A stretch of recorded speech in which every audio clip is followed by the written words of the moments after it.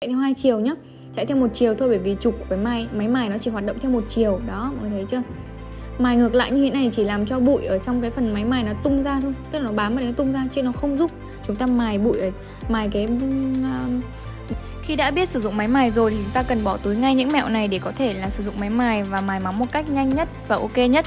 Đầu tiên thì mọi người sẽ chuẩn bị thảo ở đây là một cái móng gel đắp sẵn, một cái đầu mài mịn và một cái máy mài tích điện nhé. Thì ờ, cái phần đầu tiên mình lưu ý ở đây là mình sẽ ờ, lưu ý đến cái phần tháo lắp đầu mài mọi người nhé. Khi mình lắp đầu mài thì mình không có lắp sát quá như thế này, được chưa ạ? Lắp sát như này nó không ảnh hưởng đến tuổi thọ của máy mài cũng như là đầu mài cả. Thế nhưng mà nó sẽ rất là khó làm được chưa ạ? Nên là mình không lắp quá sát như thế này nhưng đồng thời cũng không lắp quá xa. Mọi người chỉ lắp xa một chút như này thôi. Đó như này thôi chứ không lắp xa quá nhé thì như vậy mình đưa ra khoảng cách phù hợp nhất với mọi người là lắp ờ, cái đầu mài này ấy, bằng khoảng một nửa cái thanh ờ, cái, cái thanh kim loại ở cái đầu mài nhá. Rồi. Tại sao lại như vậy? Tại vì là ở đây nhá mọi người khi làm lắp ngắn này ừ, nó sẽ bị vướng cái máy vào móng luôn không mài được dễ. Đó còn lắp dài ra mọi người sẽ rất là thoáng tay và không hề bị chạm móng vào cái phần máy mài luôn. Đấy là lý do tại sao chúng ta lại phải làm như vậy nhé và cách cụ thể là như, như thảo vừa làm rồi thứ hai là đến cái tốc độ. Được chưa đầu tiên thì mọi người sẽ điều chỉnh cái chế độ trước là chế độ F là vì thảo thuận tay phải. Còn tốc độ ở đây, đối với máy này thảo sẽ dùng từ 11 đến 12 để mài mịn. Còn máy phá thì sẽ dùng tăng thêm một hai số. Còn đối với máy mài thì có nhiều tốc độ mạnh, yếu khác nhau thì mọi người có thể là để chênh đi một hai số. Ví dụ máy của Thảo đang để 11 thì máy các bạn yếu hơn thì để xuống 10 hoặc mạnh hơn à, mạnh yếu hơn thì để số um, 12 còn mạnh hơn thì để số 10 chẳng hạn. Cái này tùy nhé nó chỉ chênh một hai số thôi mọi người có thể thử nhé tiếp theo là đến thao tác sử dụng máy ở trên móng thật ở trên móng giả nhé mọi người cứ chuẩn bị một cái móng như này bởi vì thảo thấy là luyện tập ở trên móng gel ấy thì nó sẽ ok hơn nó sẽ um, thật hơn biết lực hơn so với việc mọi người luyện tập để mài trên quả trứng cút.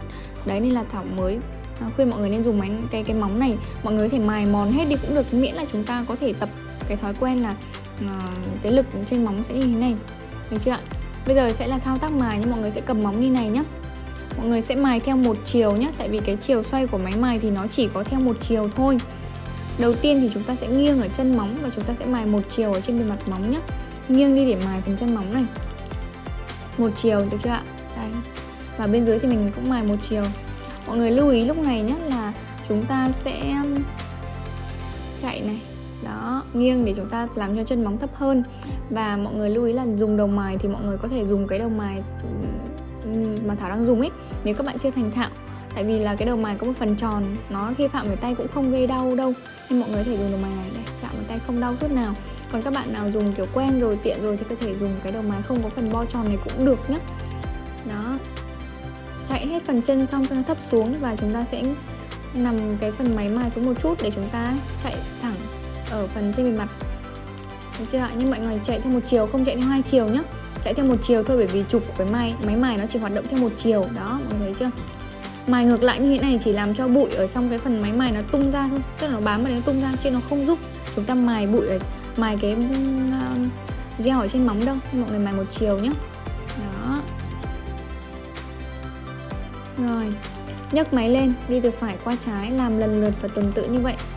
Khi mài như thế này thì mọi người sẽ nhìn trên bề, bề mặt móng cái nào nó lồi đi. Lồi lên mọi người vừa mài thì nó sẽ được nhám còn cái nào lõm xuống thì nó sẽ bóng bóng như thế kia.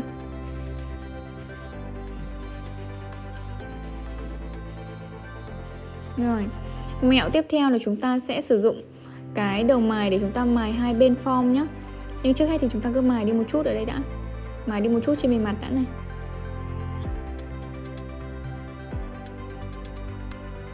Rồi. Đây là lúc làm nhanh nhé Nhớ là mọi người không có mài theo chiều ngược lại nha Rồi, đã xong. Mọi người mài sử dụng lực đúng nhé chúng ta không để chậm quá trên máy mài trên trên móng nhé và để điều chỉnh được cái lực này thì mọi người nhớ là phải cầm chắc cái máy mài. Tức là số là như vậy nhưng mà không phải số nhanh thì chúng ta phải mài nhanh mà số nhanh thì chúng ta mài nhanh hay chậm là do lực tay của chúng ta nhé cầm chắc và lấy kiếm một điểm tựa để chúng ta có thể điều khiển được máy mài nhé phải làm chủ được nó mọi người nhé không để nó muốn đi theo chiều nào thì đi đâu. Và tiếp theo là chúng ta sẽ sử dụng máy mài để chúng ta mài cái phần form hai bên đi. Đây là mẹo này nhưng mẹo này chỉ áp dụng với các bạn nào mà đã quen lực của máy mài rồi nhé đây. Mọi người mài này, bên trái thì chúng ta mài xuống và bên phải chúng ta mài lên. Đó được chưa? Như thế thì nó sẽ ok nhất về form. Mình làm bị bè ra thì nó mài đi rất là nhanh. Được chưa ạ? Bên trái thì chúng ta mài xuống, bên phải thì chúng ta mài lên. Đây, như thế này. Rất là nhanh, nhưng với các bạn nào đã biết dùng máy mài rồi và làm chủ được lực của máy mài rồi nhá, thì cách này nó sẽ tốt cho việc rũ form.